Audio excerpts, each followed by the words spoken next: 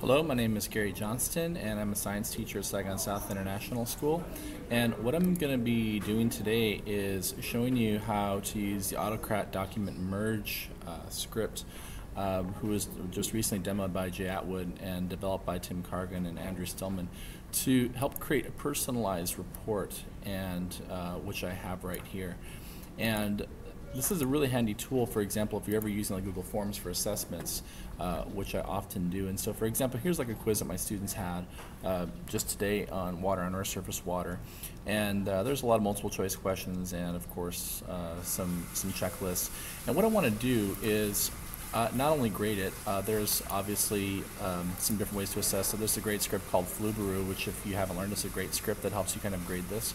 But what I'm really interested in doing is creating like a form that students can go back for a referral.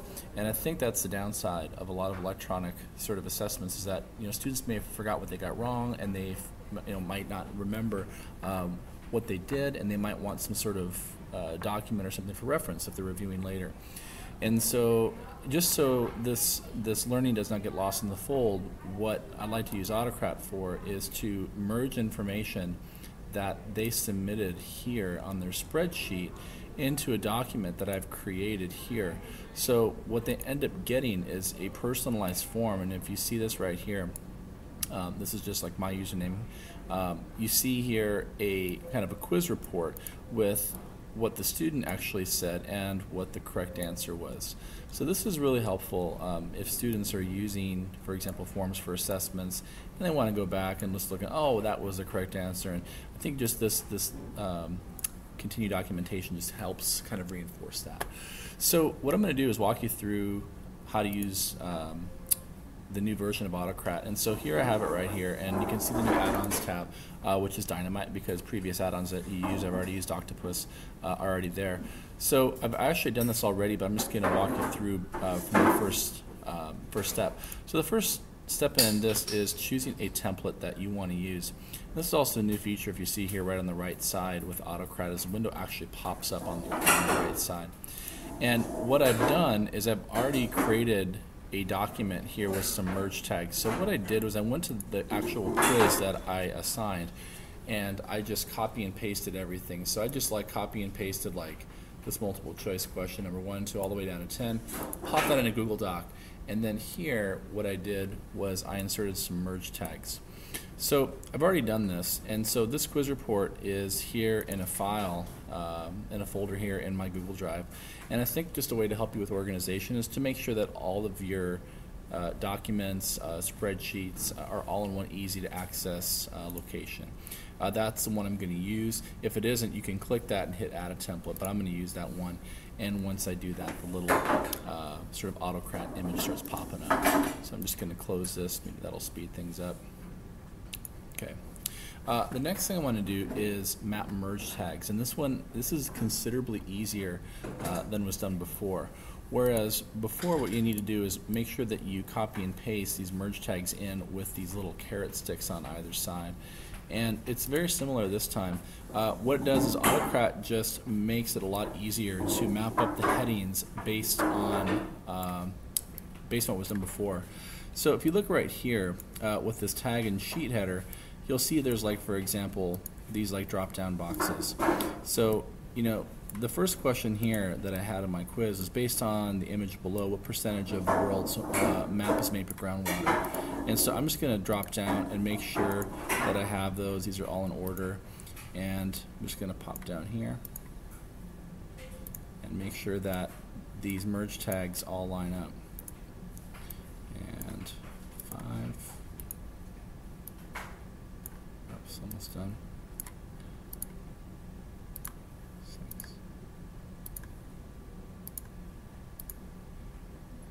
Okay. So this is really easy. And everything that I have also is on sheet one. In this case, I only have just one sheet in the lower left-hand corner, but if you have other sheets, you, know, you can pop down there.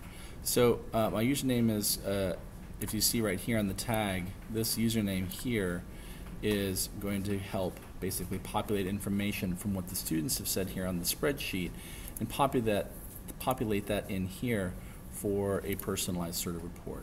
So I'm just going to double check that one more time. Yeah, we have. Uh, that looks pretty good. One, two, three, four. I got all my 10 questions. Great.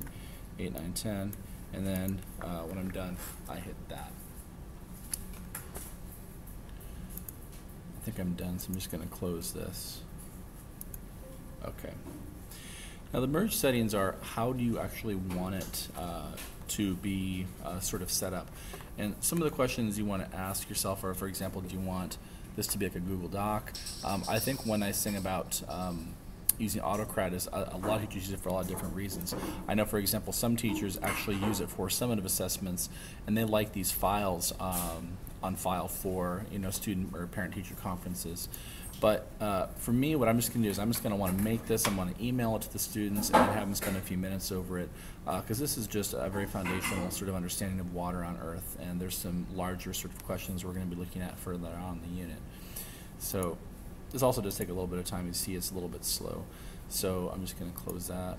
And uh, when I close that too, I can close that as well.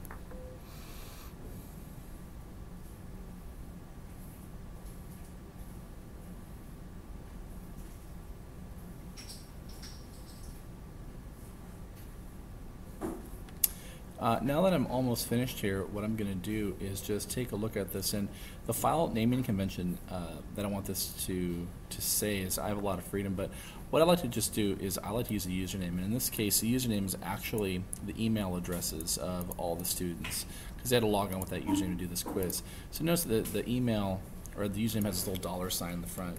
So I'm just going to say it's already done here, but I'll just show you how to do it if you didn't do it. You just copy and paste that in and give it some sort of title.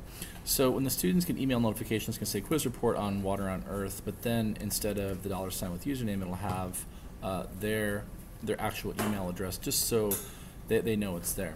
Uh, you can also choose to have a Google Doc or, uh, for example, a PDF. I'm just going to choose a Google Doc.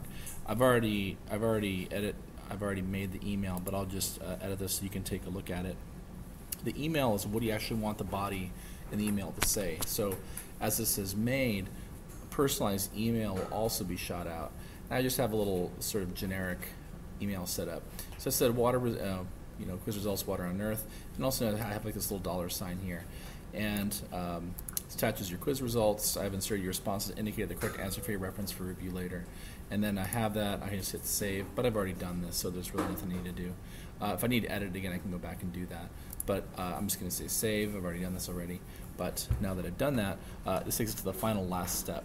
And the run merge step is uh, what, uh, and this is kind of interesting also. I think before you run this the entire class, what you do is you preview it. And I've already previewed this, so you can actually see kind of like what it looks like. I didn't actually have the email. Um, I didn't actually have like the email set before, but if you click on this uh, hyperlink here, it'll actually take you to this that I've already had before. So once I run the merge, uh, it'll create a personalized response like this. Uh, as you see, uh, this one is just, I do this on myself. And when I work with Google Forms, I often, I'm the first person that submits a form response just so I can have an answer key uh, to serve as an anchor. So uh, what you see here is a personalized answer key with the correct answers, uh, what the student said, and this is how you can use Autocrat to create personalized reports. Hope you enjoyed it. Thanks a lot.